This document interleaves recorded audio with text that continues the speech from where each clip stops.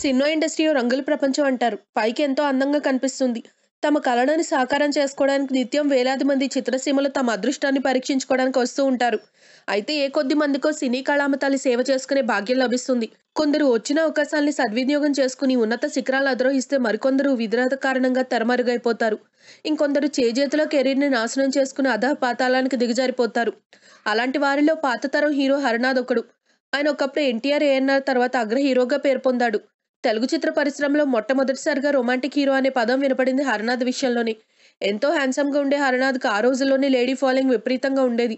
మా ఇంటి మహాలక్ష్మి చిత్రంతో సినీ పరిశ్రమకు పరిచయమయ్యాడు హరనాథ్. ఆ తర్వాత కలిసి ఉంటే కలదు సుఖం పెళ్ళి రోజు తల్లిదండ్రులు వంటి చిత్రాలతో మంచి గుర్తింపు అందుకున్నాడు.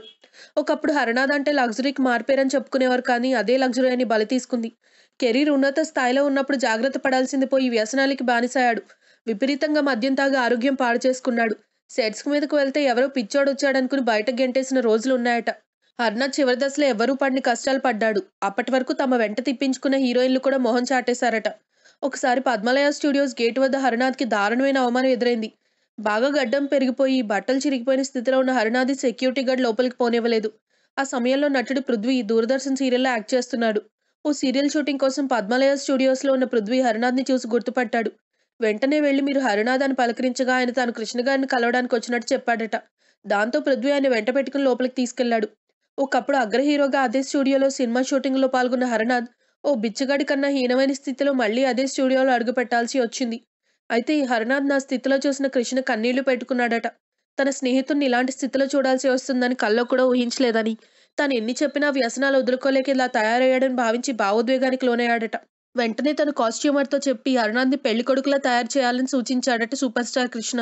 దాంతో ఆ కాస్ట్యూమర్ హర్నాథ్కి శుభ్రంగా స్నానం చేయించి కృష్ణ గారి దుస్తులిచ్చి నీట్గా డ్రెస్అప్ చేశాడు. ఆ విధంగా హర్నాథ్ని వారం రోజుల పాటు తన వద్దే ఉంచుకుని స్నేహధర్మం నిర్వర్తించాడు కృష్ణ. అంతేకాదు చెన్నై వెళ్తానంటే డబ్బులు కూడా ఇచ్చి పంపించాడు. కానీ అలా వెళ్ళిన రెండో రోజే హర్నాథ్ తిరిగి రాని లోకానికి పయనమయ్యాడు. అప్పటికే ఆయన ఆరోగ్యం బాగా క్షీణించి ఉండడంతో విడిచారు. ఆ విషయం తెలిసి కృష్ణ బోరున విలపించారట. తన వద్దుంచుకున్న బాగుండేదేమో అనవసరంగా చెన్నై పంపించారని బాధపడ్డారట. సినీ ఇండస్ట్రీలో వచ్చిన పేరు ప్రఖ్యాతల్ని వ్యసనాల కారణంగా చెడగొట్టుకున్న హరినాథ్ జీవితం ఇప్పటి యువతరానికి గుణపాఠం అని చెప్పుకోవాలి. క్రమశిక్షణ లేకపోతే ఎంత పెద్ద నటుడైనా చివరి దశలో దయనీయ స్థితిలో నేల నేలరాలాల్సిందే అంటూ చెప్పడానికి హరినాథ్ జీవితమే నిదర్శనం. If you like the video please like us and subscribe Tollywood Nagar